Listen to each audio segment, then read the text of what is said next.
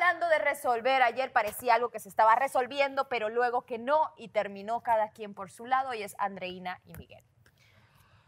Mira, la verdad que ahorita no tengo cabeza para decir lo que siento o lo que pienso, pero sí acepto que pues sí me ilusioné, sí pues no, el gusto no se va a ir de así de la nada, sí me, me gusta, me ilusioné, me gustaba cómo me trataba, no puedo decir estoy enamorada porque pues obviamente es muy poco tiempo para enamorarse, pero uno sí se ilusiona y, y sí dice como que ok, qué ¿Pero qué crees que fue lo que pasó que terminaron cada quien por su lado? Pero por eso, por eso yo pienso que hay actitudes que decepcionan y hay desconfianzas que como que tú dices, mm, ¿Pero no. qué tipo de actitud?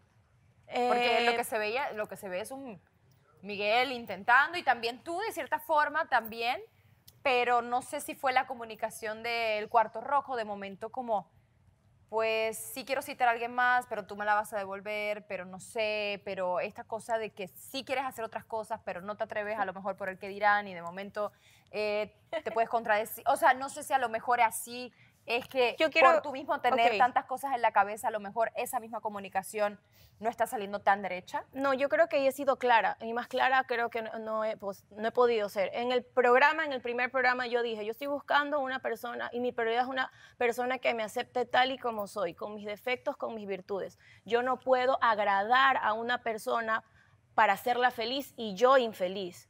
O sea, ejemplo, cuando he tenido relaciones, siempre he sido de que, ay, tengo que ser perfecta para él y tengo que reservarme actitudes mías por hacerlo feliz. Y eso no es así. Y obviamente uno quiere una persona que sea de confianza. ¿Cuál tú crees que es el problema?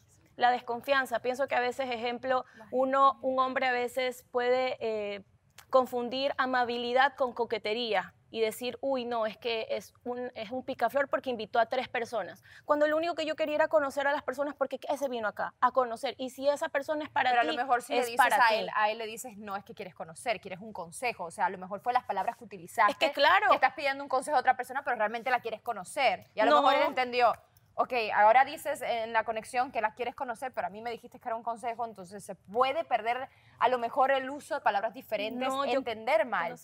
Yo la creo gente que entiende mal, tú lo has dicho. Una cosa es lo que tú dices y otra cosa es lo que la gente entiende. No, yo creo que Vanessa, y si me permites hablar, pienso que eh, uno no tiene que, uno siempre tiene que quedarse con la duda, porque tú puedes mostrar lo que sea y puede haber hasta pruebas, pero si tú vas con la persona y le dices, a ver, explícame, ¿qué está pasando? Ahí tú vas a entender qué es lo que está pasando, pero si tú sacas tus propias conclusiones y desconfías cada vez que alguien te ataca, cada vez que alguien te señala, entonces, ¿de qué estamos hablando? Yo pienso que una persona debe estar en las buenas y en las malas.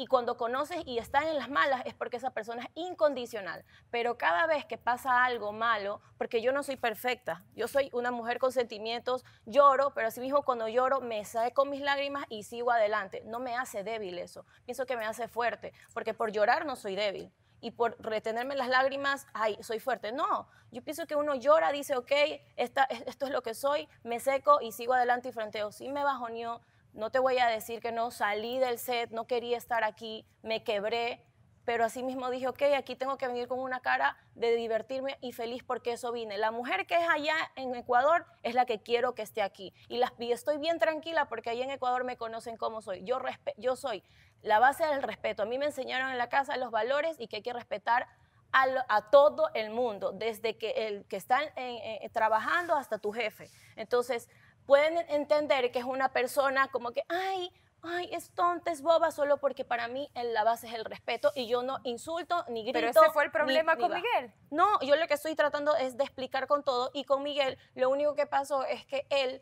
se lo tomó a mal cuando yo fui sincera. En el cuarto rojo yo le dije, mira Miguel, te voy a ser sincera, el gesto de la flor me encantó, me gustó, pero sí, créeme que con tu inseguridad, con que sí o con que no, yo iba a citar a otra persona porque para eso vine acá a conocer. Y si yo veo inseguridad de tu parte, que no me quieres conocer, de que conmigo eres uno cuando estamos a solas y que afuera eres otro y estás como que distanciado, yo tampoco voy a perder el tiempo. O sea, no creo que yo tenga que eso sí recibir y que cada vez que hace algo malo, o sea, venga con un detalle. Yo nunca dudé y dije, hubiera sido algo malo que él me hubiera traído el regalo y yo hubiera dicho, no, igual voy a citar a Austin. No, yo cogí mi regalito y fui donde él al cuarto rojo y le dije lo que le tenía que decir. ¿Te sigue gustando Miguel? Te dije, la verdad, mis sentimientos ahorita están confundidos. Estoy con una cosa en mi cabeza que no, no quiero ni, ni mostrar y,